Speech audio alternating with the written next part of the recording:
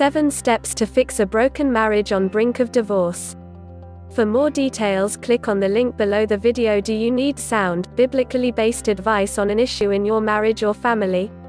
Dr. David Hawkins, director of the Marriage Recovery Center, will address questions from Crosswalk readers in his weekly column. Submit your question to therelationshipdoctor at gmail.com. She told me she doesn't love me anymore.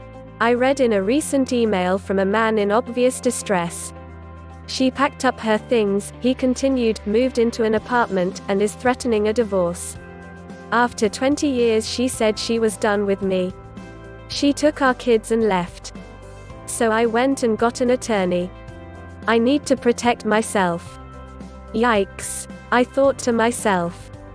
Here is another lost opportunity to possibly save a marriage. Here is a man reacting to a bad situation, making it worse. I arranged to speak with the man the next day.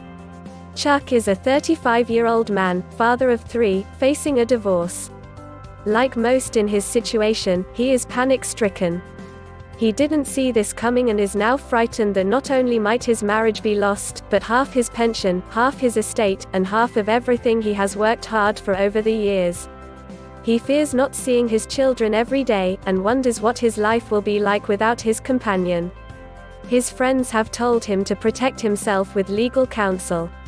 She's really angry with me, partly for good reasons. Chuck told me. I haven't been the kind of husband I ought to be. I drank too much at times and have had a temper problem. I didn't want it to come to this, but I guess there's nothing I can do about it now. She's gone, won't go to counseling, and is talking divorce. Is there anything at all I can do to save the marriage? I made it clear to Chuck that I was not an attorney and would not offer legal advice. However, I had a few thoughts about how to do everything in his power to save his marriage. Filing for a divorce, in the face of his wife's threats, would probably not help his cause.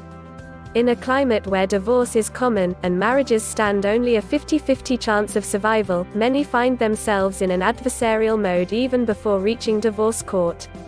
By the time one mate leaves the home, the adversarial fires are often burning very hot, often propelling the marriage into divorce court. The very adversarial, combative atmosphere that may have led to the separation is the one that can put the final nail in the marital coffin. But, things don't need to be this way.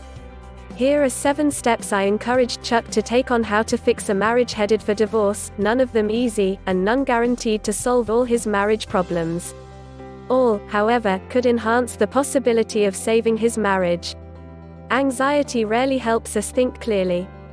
Often, when feeling anxious, we react instead of respond thoughtfully. Our best decisions occur after rest, godly counsel, and reflection. The wisest man on earth said, When times are good, be happy, but when times are bad, consider, God has made the one as well as the other. Ecclesiastes chapter 7 verse 14 Second, do nothing to harm or injure your mate. While things don't look good, sometimes the best action is no action. Stop doing the things that aggravate the situation. Cancel the appointment with the attorney. Don't do anything that places you in an adversarial role with your mate. Stop doing those things you know irritate your mate. Stopping the hemorrhage saves many lives. Make the decision to do no harm. Please subscribe to subscribe to the channel to receive the latest videos.